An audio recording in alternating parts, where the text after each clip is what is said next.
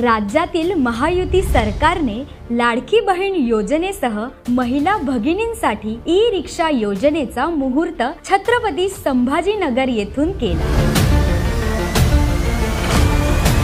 राज्यातील दहा हजार महिलांना ई रिक्षा दिल्या जाणार आहेत. प्रत्येक महापालिका क्षेत्रात पाचशे महिलांना ई रिक्षा दिल्या जातील. भविष्यात ही संख्या दुप्पट केली जाईल.